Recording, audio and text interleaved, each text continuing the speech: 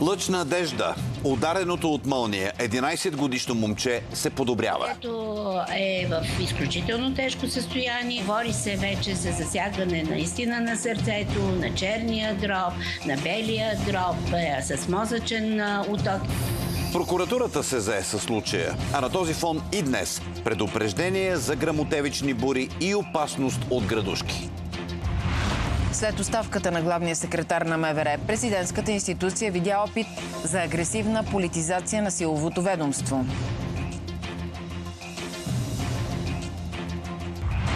Съдът остави в ареста петимата лекари, задържани за източването на здравната каса. Проверя зад решетките остане обвиненият за убийството на шофьора, който прегази дете в Прилеп. Той отива, нанася първо побоя, после се връща, взима ножа и се връща, за да го намушка.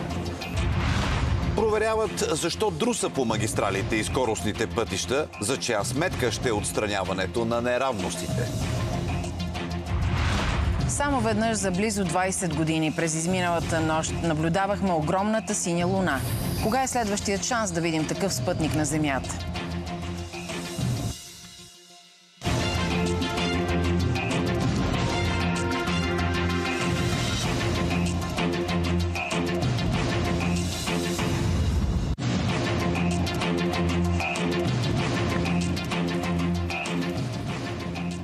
Добър вечер с централните новини на Нова. Здравейте! С нощната буря в Русе доведе до трагедия на стадиона в града. Мълния покоси две 11 годишни момчета на футболния терен. Внезапният дъжд и светкавици започват по време на тренировка. Двете момчета не успяват да достигнат навеса на стадиона, когато ги застига мълнията. Въпреки оказаната първа помощ и борбата на лекарите, едното момче почина, а неговият съотборник е с опасност за живота. За тежкия инцидент и за опасностите на времето разказваме с нашите репортери в Русе е Наталия Йорданова. Наталия, здравей! Първо, какво е състоянието на удареното от мълния дете? Здравейте. Малко преди обед удареното от мълния дете е било изведено от медикаментозния си сън. Екстубирано е и вече диша само. Лекарите имат надежда, тъй като детето поетапно започнало да става контактно.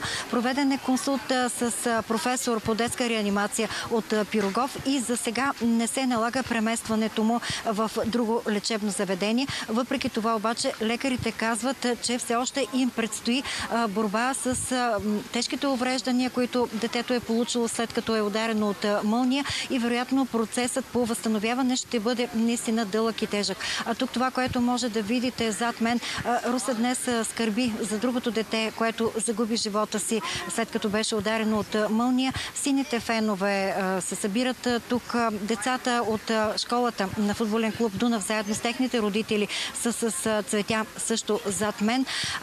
Това, което трябва да кажа, днес започнаха няколко проверки. Инспекция по труда. Дирекция за строителен контрол проверява мълния защитата на целия комплекс Дунав. Прокуратурата също образува досъдебно производство. На този терен се е провеждала тренировката на 11-годишните футболисти. Внезапно мълния покосила две от момчетата. Аз бях в тая част, когато се случи, децата бяха долу. Веднага притичах.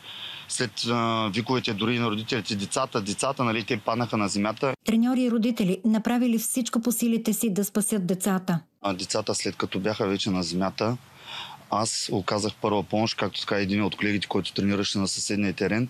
Изкуствено дишане, също така и нали, с натискане, което нали, при 30 опита, нали, съответно после започнем се, нали, по този начин давам изкуствено дишане, после пак.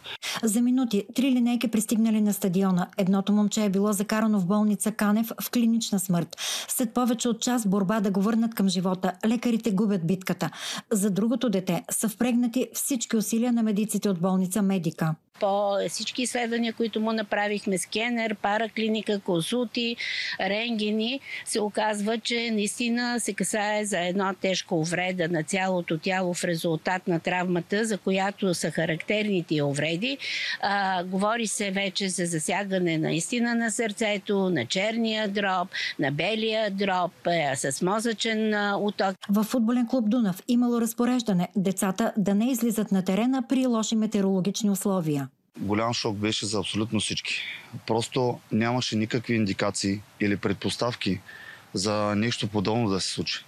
Ние винаги предпазваме децата. По такъв начин съм свикнал и съм ги обикнал тези деца, че те са като мои, разбирате ли?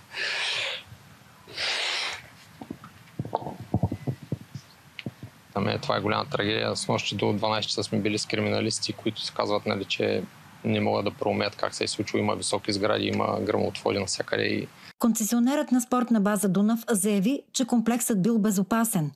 Има изграден гръмотвод. Преди години, мисля, че 2020 година го пуснахме в експлуатация. А сега във връзка с реновирането на хотелската част, която и предстои издаването на Акт 16, също има изграден и поставен гръмотвод, който работи.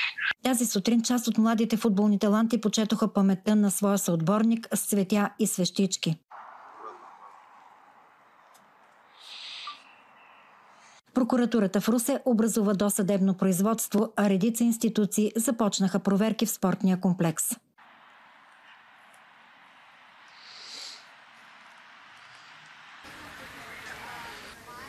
С децата, които са станали свидетели на тежкият инцидент, днес се срещнаха психолози, а школите в всички футболни клубове в Русе прекратиха заниманията си. Наталия, благодарим за информацията. Наталия Йорданова. Оказва се, че масово спортните съоръжения и стадиони у нас не отговарят на европейските критерии за мълния защита. Мнението на водещи експерти в областта Правилата са описани в наредба, но за спазването и оказва се липсва контролен орган. Кой тогава носи отговорността? Можеше ли да бъде предотвратена тази трагедия в Русе? Ивомира Пехливанова потърси отговорите. Здравей!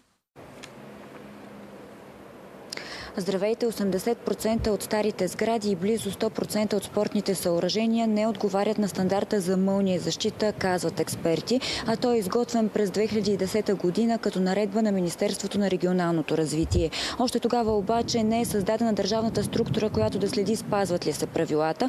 Така отговорността е изцяло в ръцете на собственика или ползвателя и може да се търси от прокуратурата, но само в случай на инцидент. Инженер Христомир Иванов е в групата експерти създали наредбата за мълния защита. Според него, ако стадионът в Русе отговаря на правилата, нямаше да се стигне до инцидента. На 98% не. Тези проценти не са определени от нас. Тези, тези, проценти са определени от европейския стандарт по мълния защита. Е, едно 99% от стадионите не са защитени. С чиста съвест мога да кажа, че национално стадион Васил Левски също не е защитен. Експертите призовават за масова проверка на обществените сгради. Аз се обръщам към собствениците, тези, които стопанисват сградите, към директорите най-вече на училища и детски градини и го подчертавам твърдо и дебело.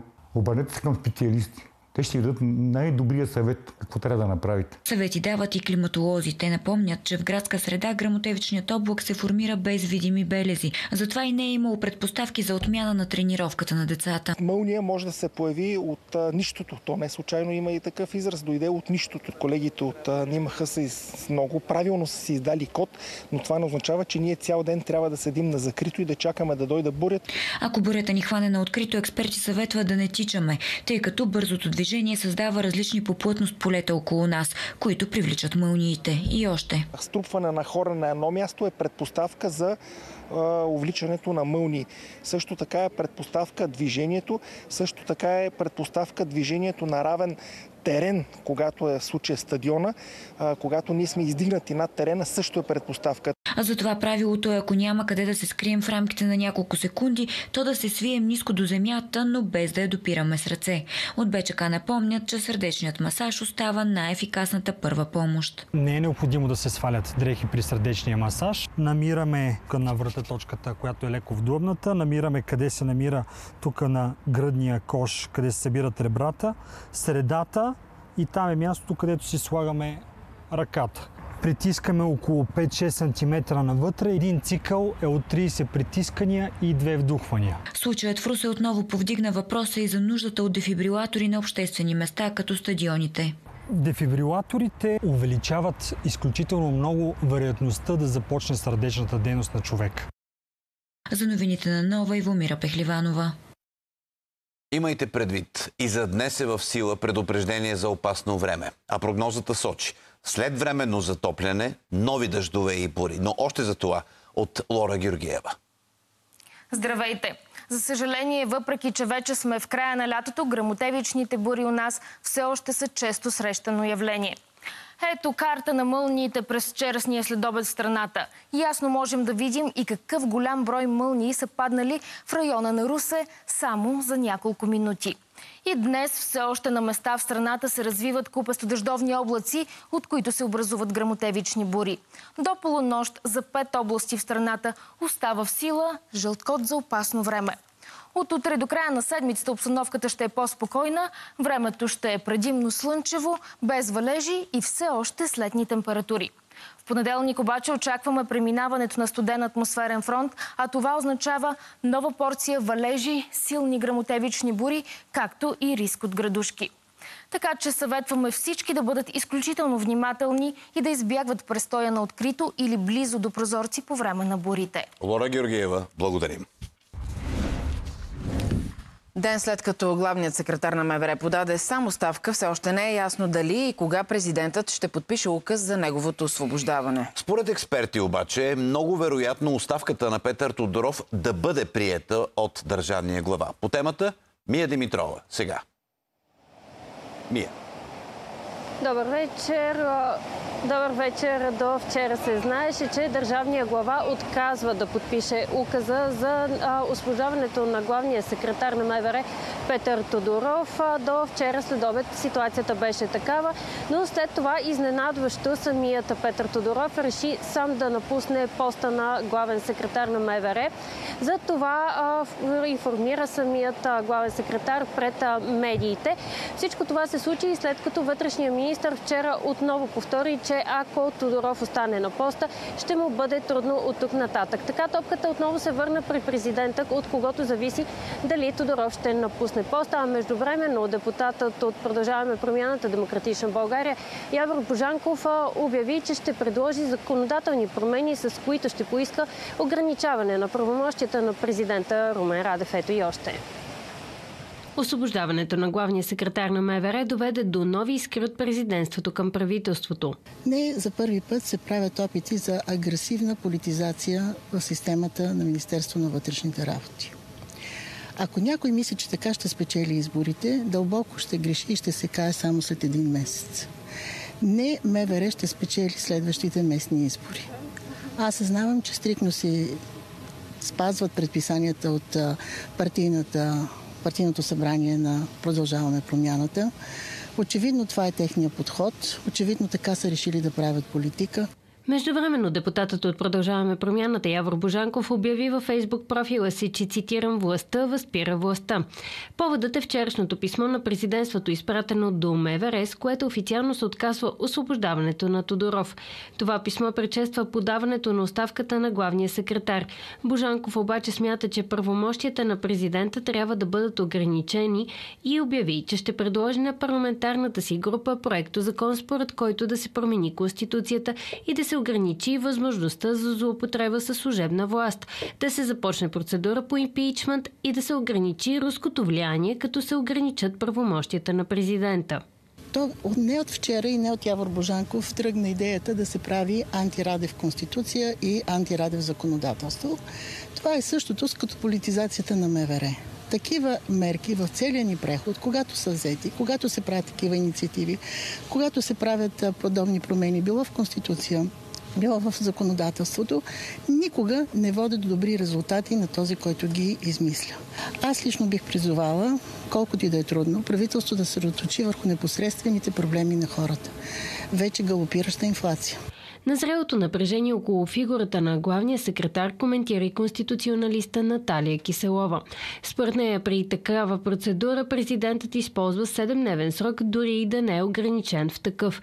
Не е ясно дали и в този случай ще е така, ако решението е Петър Тодоров да освободи поста. Указа за освобождаване на а, главния секретар, който подаде оставка, предполагам, че ще бъде издаден отново 7-дневен срок. Тоест не може да очаквате а, Тоест, възможно е президента да го издаде, но а, може и да, да забави малко от гледна точка на а, времето. Ако Петър Тодоров бъде освободен, следва да бъде предложен нов кандидат за поста му. Тъй като самият той в момента стимулира управляващото мнозинство да промени съответните закони и да изключи президента от съгласователните процедури, в които беше включен преди няколко години заради там отново политически въпроси. За една седмица ще се промени закона. Той ще отложи, да кажем, тази промяна с, с отлагателното си вето и за две седмици ще се приключи този въпрос. Все още не е ясно кой е възможно да наследи Петър Тодоров, ако бъде освободен като главен секретар на МВР. А Централната избирателна комисия започва работа по подготовката на местните избори. До дни предстои да се изчистят всички детайли около организацията, какво е свършено до този момент – това разказва Добромир Николов. Здравей, Добромир! Добър вечер. С поглед към основното политическо събитие на есента местния вод, депутатите утре започват отново работа в есенната пленарна сесия. Разликата е, че за втори път те ще влязат в сградата на Народно събрание зад мен. Така историческата, която е в другата част на центъра на София, ще остане празна поне за няколко години, както анонсира Росен Желясков, председателят на парламента. А през тези часове, които предстои да се да минат до началото на работа на Народното събрание, стана ясно, че Централната избирателна комисия вече е започнала работа по подготовката на местния вод. Попълват се избирателните комисии, които са на общинско ниво. Партиите там са постигнали известно разбирателство. Предстои да видим през следващите месеци как ще се случи разбирателство в Народното събрание. Към момента са назначени около 160 общински избирателни комисии. Всички те са при постигнато съгласие от политическите сили на консултациите, които са проведени при кметовете на общини. Предстои да назначим и останалите общински избирателни комисии. От подадените документи 84 при 84 комисии не е постигнато съгласие от политическите сили, така че Централната избирателна комисия ще вземе решение. Криминални и съдебни теми. Нов фатален случай на домашно насилие. 21 годишна жена е била пребита до смърт, а обвинен е 28 годишният мъж, с когото тя е живеела на семейни начала в Умуртак. Жестокият побой, след който младата жена е починала, извършен на 29 август. Според разследващите, боят е бил жесток и продължителен. Има информация, че извършителят се опитал да прикрие престъплението като инцидент и дори се преструвал пред съседите, че се опитва да окаже помощ на пострадалата. Има, разбира се, обвиняем, има негова версия за ревностна проява и така нататък, за възникнал скандал на тази основа. Не е осъждан, ако това ме питате. Но той не е познат на органите на реда, поне в нашия район, тъй като те не са от тук. Те са живяли около 10 дена в Омуртак. Разпитваме съседи, роднини, установени техни. Има двама свидетели вече, които са дали показания, че имало и предишни случаи на подобна, подобни прояви. Той има защитна версия за така лек конфликт с, да речем, лек физически така, физическо докосване, като пошляпване или потупване, което решително не отговаря на травмите на жертвата. Тя има много щупване, разкъсвания, брутален и жесток побой. Съдът остави в арест мъжа обвинен в убийството на шофьора на камиона, който прегази 6 годишно дете в село Прилеп. След пътния инцидент близките на жертвата нападнаха водача на камиона, като единият от тях, задържаният Стефан Дехнев, успява да го намушка в кръка. Още от днешното заседание на съда и неговото решение от Цеца Алексова. Здравей, Цеца!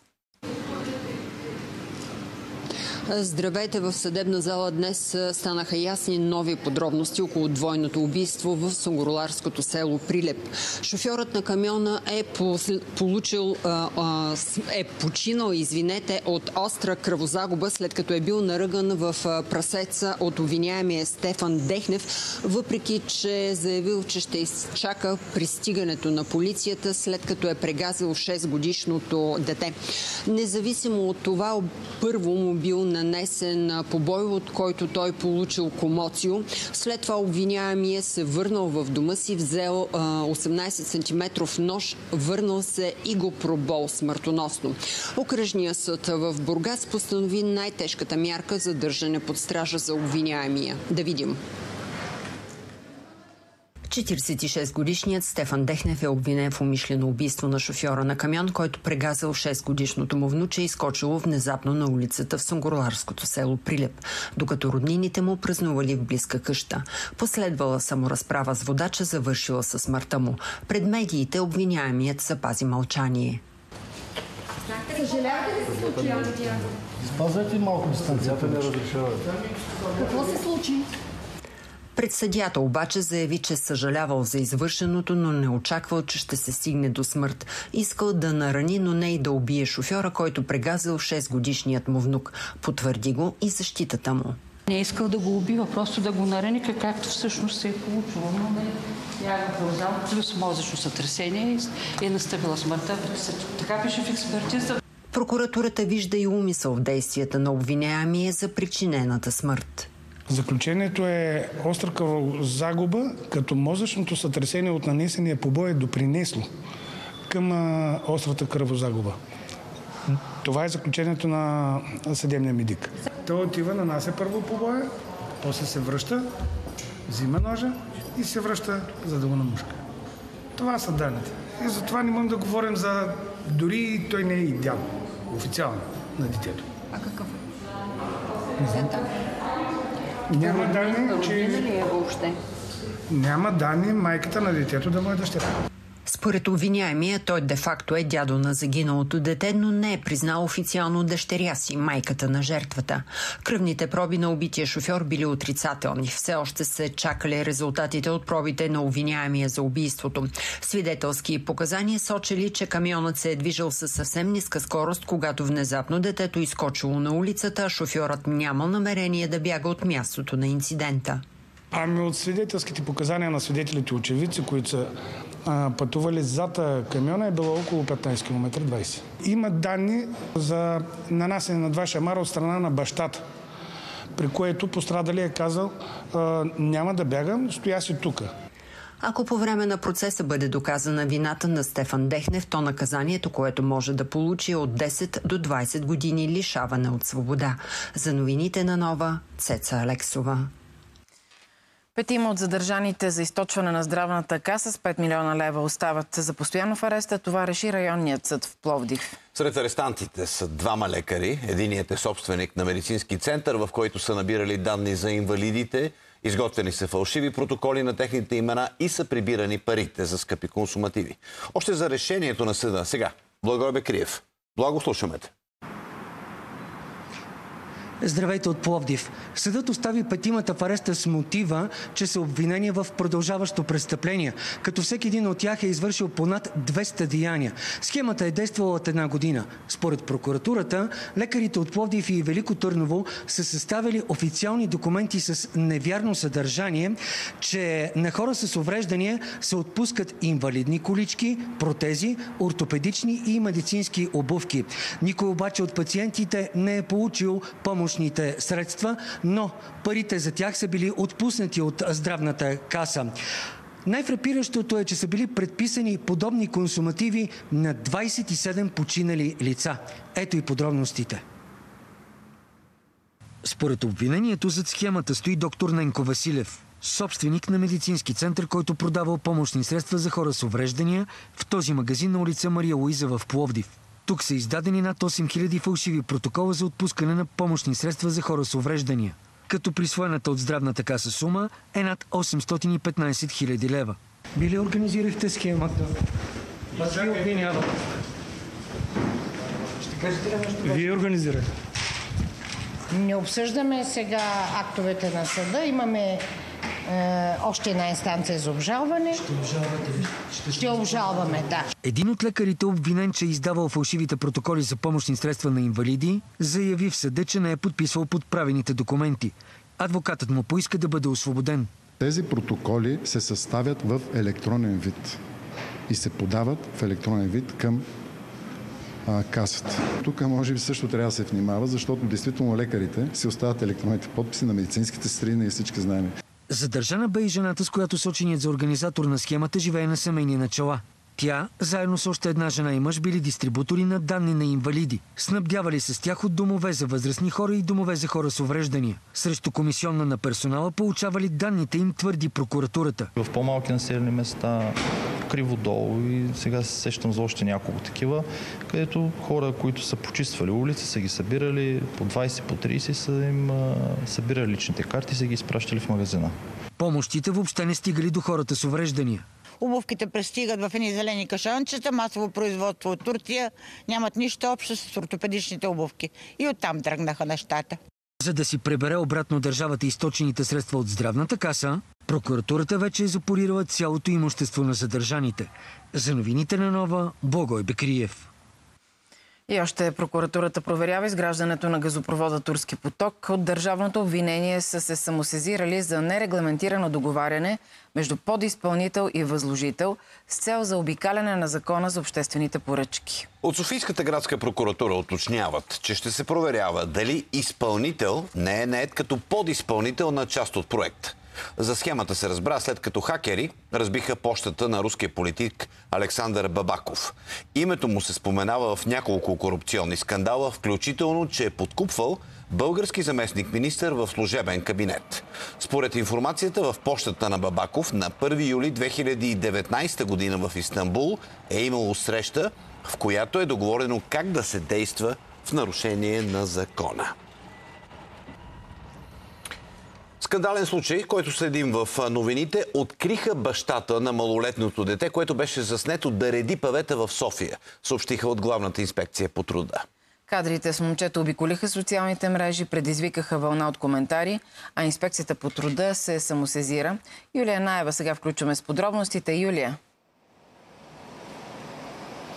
Здравейте! Три дни изненадващи проверки са били необходими на инспекторите, за да установят кой е бащата на малолетното момче. Те първа ще стана ясно и какви санкции ще бъдат наложени. От инспекцията по труда уточняват, че неглижирането на родителските задължения не е в тяхната компетентност, но всички факти, които са събрани, ще бъдат предоставени на органите за закрила на детето. Междувременно проверката им е констатирала и други сериозни наредности. Какви? Разказваме в репортажа.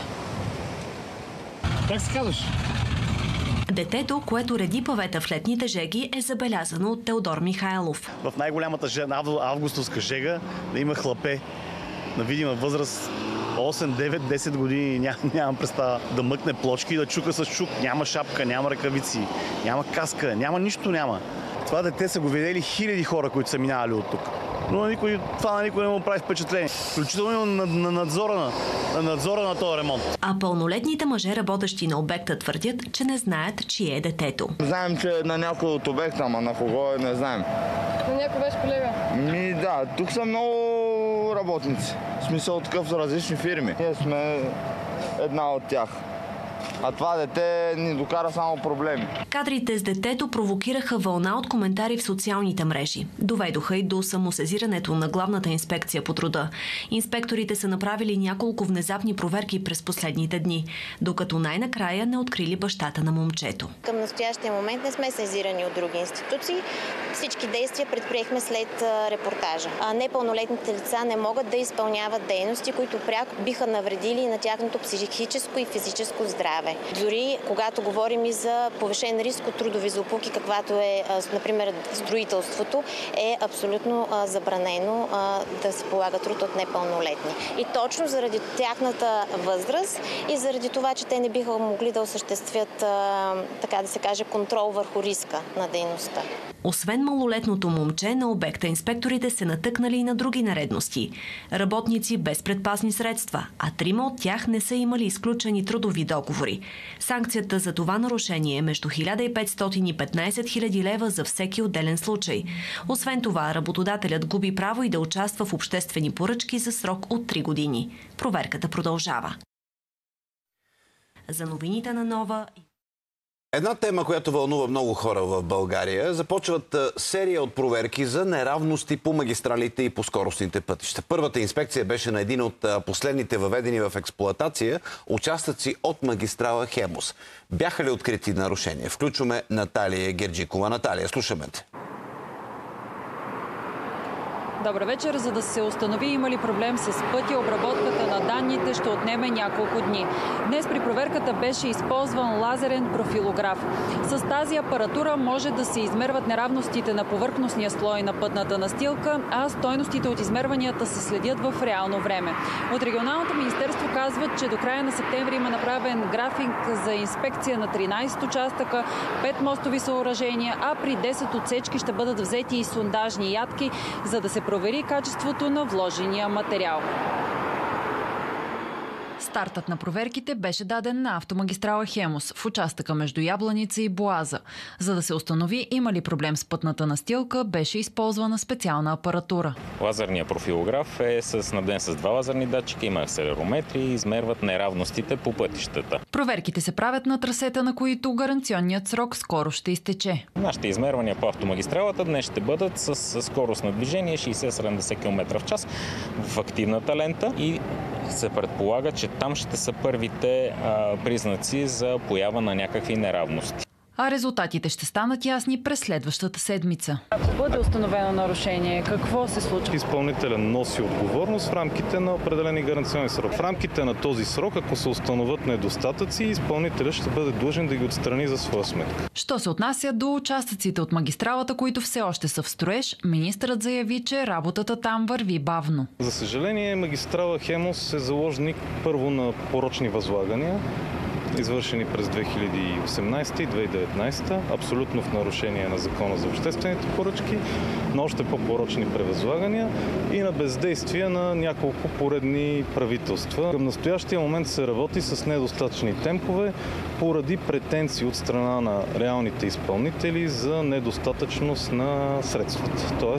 претенции за индексация на тези средства. Министър Цеков коментира и предложението за отстъпки при тол таксите на база изминато разстояние. При въвеждане на механизма с задна дата от месец юли до края на годината хазната ще загуби около 40 милиона лева. Проблемът според него бил другаде, в това, че държавата няма контрол върху тол системата. Тол системата, за която държавата е платила 180 милиона лева и която трябва да бъде както софтуерно, така и хардуерно собственост на българската държава. За нея липсват изходни програмни кодове.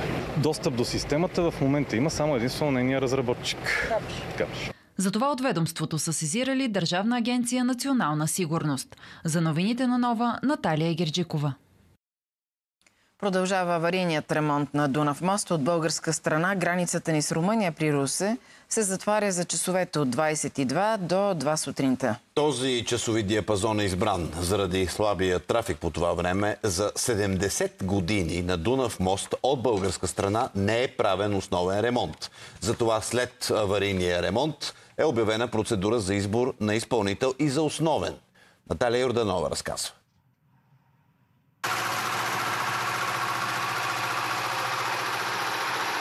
Нямаме гаранция докъде ще стигнат тези пукнатини и в какъв момент може да се получи пропадане на част от почта. Когато бетонната основа на моста се пропука, това се личи по асфалта. Тези пукнатини тук показват, че в бетоновата плоча имаме също пукнатини или асфалтовата настилка няма стабилна основа. През деня се подготвят участъците за ремонт, а същинската работа се извършва през нощта, когато се налага затваряне на Дунав мост за по 4 часа. Полагаме една бетонова смес много специфична, която много бързо набира якост, която обаче изисква за да бъде качествено изпълнено заздравяването на фугите, да няма вибрация в конструкцията на моста, заради това затваряме изцяло моста за движение. Спрените през нощта автомобили от двете страни на границата се изтеглят до ранните сутрешни часове. Докато трае ремонтът, през цялото денонощие се налага движението да се регулира, защото на места се осъществява само в една лента. Да, малко е затруднено, пропускат се поетапно. Там чаках 5-10 минути на моста и тук 10 минути някъде. Може би ли на 15 минути. Не е проблем това. Тук е проблем е проблем, значи е, чудо. Другите граници ги минаваме за 90 км в час, така да се каже, а тук вижте какво чудо. От петък се очаква движението през Дунав мост да е в обичайния си ритъм. За новините на Нова, Наталия Йорданова. Масов протест в град Павликени срещу безводието в района. Жители на населени места блокираха входа на общината. Те поискаха местният парламент да насочи близо 4 милиона лева за ремонт на водопроводната мрежа. Хората твърдят, че вода в кладенците има, но повечето села са цяло лято на режим заради лошата разпределителна мрежа.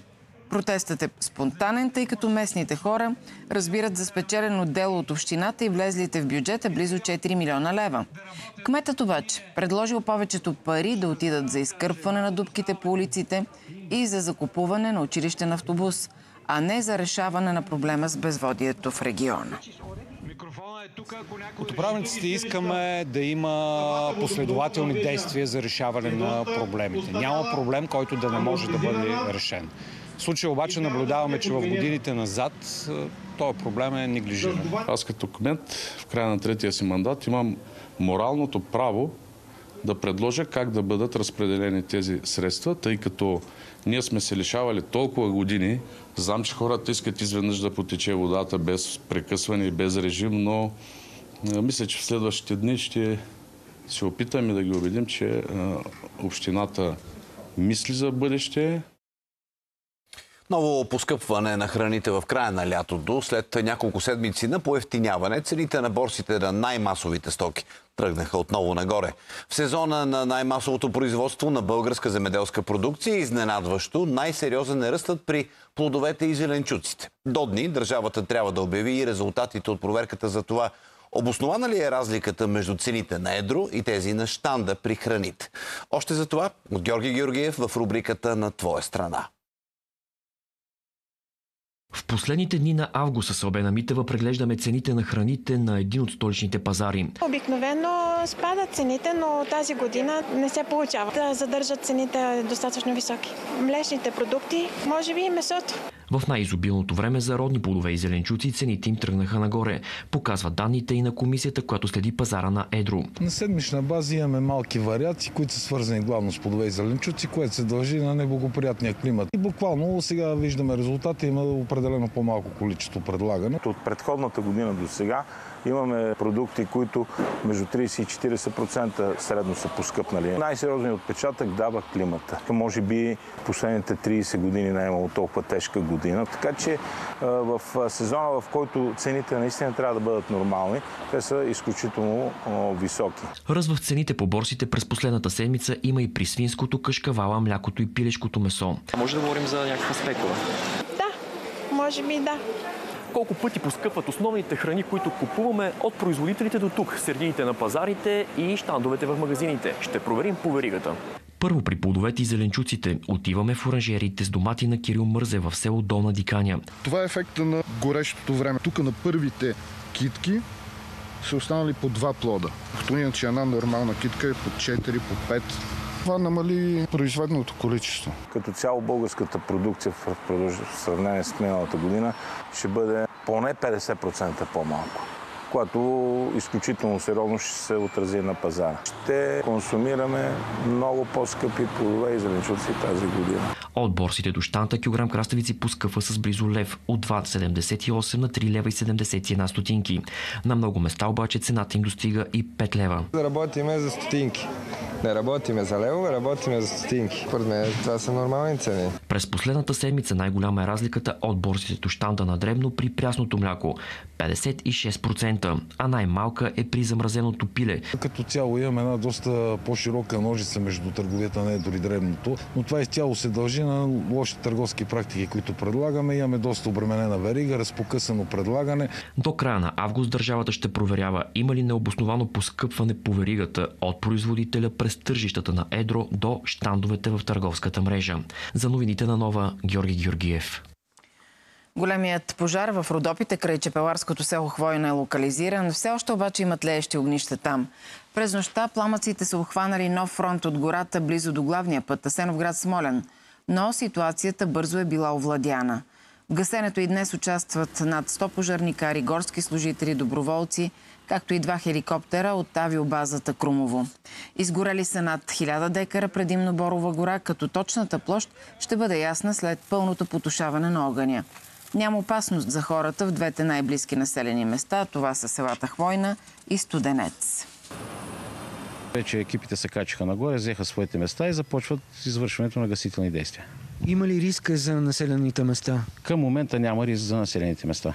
В а, посока билото е локализиран, т.е. в посока запад, остава сега да бъде локализиран на север и на юг, т.е. към Студенец и към Хвойна.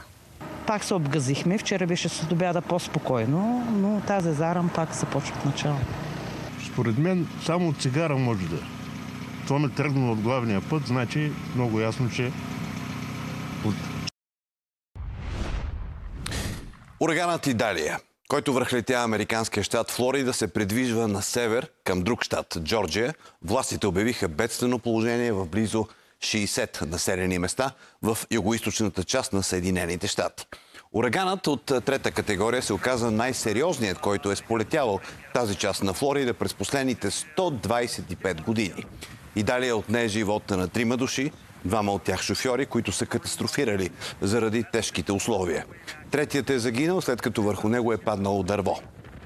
Повече от 400 хиляди души останаха без електричество. За щастие, Идалия губи от своята мощ и се очаква преминаването и през щатите Джорджия, Южна и Северна Каролина да причини далеч по-малко щети. Идалия отнесе със себе си билбордове. Помете дървета и дори цяла бензиностанция. Само се надяваме къщата ни да не е отплавала, когато се върнем. Много от евакуираните нямаха този късмет. Местните власти предупредиха. На места при дошлата вода може да достигне до 5 метра дълбочина. Бурята не пощади дори дума на губернатора на Флорида. Върху къщата на Рон Де Сантис се стовари дърво. Не излизайте навън в бурята. Ако наоколо ви се струва спокойно, може би сте в окото на бурята и тази ситуация може да се промени много, много бързо. Така че, където и да сте, снижете се и не приемайте нищо за даденост. Това е много, много мощна буря. Сателитни снимки показват частотата на светкавиците по време на бурята. А на тръгване от Флорида, Идалия остави след себе си това. Така като гледам, прозорците ги няма. От тази страна са щупени. Евакуираните се прибраха по домовете си, за да ги заварят унищожени. Чувствам се чудесно, че къщата все още е тук. Държа най-важното в ръцете си. Останалото е материално. Знам, но това беше нашият живот. Цели 23 години. Ще го възстановим. Всичко ще бъде наред. След като създаде сериозни проблеми в Флорида, Идалия се насочи към югоизточна Джорджия. Части от крайбрежието на Северна и Южна Каролина също с повишен риск от наводнения. Трагедия в Йоханесбург. 73 души загинаха при пожар в най-големия южноафрикански град. Ранените са повече от 50. Пламъците избухнали в пететажна жилищна сграда. Част от хората са получили наранявания, след като скочили от прозорците, за да се спасят от огъня. Властите все още се опитват да изяснят какви са причините за инцидент. Пететажната сграда в центъра на града е описвана като превзета от самонастанили се хора, известни още като сквотъри. Украина в борба с корупцията в медицинските военни комисии. Президентът Володимир Зеленски обяви, че в някои райони броят на освободените от служба мъже е скочил десетократно след началото на руската инвазия в страната. Така, годни да воюват мъже са били освободени срещу подкуп от 3 до 15 хиляди долара. Украина обяви мобилизация, като всички мъже на възраст от 18 до 60 години не трябва да напускат страната. Те могат да бъдат извикани на фронта по всяко време. Державний герб України. А нов видеоклип с Евгений Пригожин се появи близък до група Вагнер канал в Телеграм. Кадрите изглежда са заснети в Африка, малко преди смъртта му. Няма достоверна информация за местоположението или датата на видеото заснето в движещ се автомобил. Облеклото и шапката на Пригожин, както и часовникът на дясната му ръка обаче съответстват на външния вид в ето този видеоматериал. Публикуван на 21 август, за който той също се твърди, че е заснет в Африка. Много вероятно е този клип да е направен на 19 или 20 август, само 3 или 4 дни преди Пригожин да загине в самолетна катастрофа северно от Москва. Ето какво казва той в него. За тези, които обсъждат дали съм жив или не, какво правя. В момента е уикенд, втората половина на август 2023 година. Аз съм в Африка. Нахожусь в Африке. Така че за хората, които обичат да обсъждат ликвидирането ми или личния ми живот, колко печели или каквото и да е друго, всичко е наред. Собствено говоря, Ден след като военните извършиха преврат в африканската държава Габон, намеренията им остават неясни. В сряда те обявиха командващия Републиканската гвардия за преходен президент, но не уточниха колко време планират да продължи преходът във властта. Това е осмият военен преврат в Западна и Централна Африка от 2020 насам и засилва опасението от дестабилизация на региона. Междувременно външните министри на страните от Европейския съюз отхвърлиха силовото за вземане на властта в Габон. Те призовават всички страни към сдържаност. За сега няма планове за евакуация от Габон. Ситуацията е спокойна. Не виждаме някакъв риск от насилие, от ситуация, която би могла да предизвика опасност. В Габон има около 10 000 европейски граждани, но нито една държава не е изразила загриженост.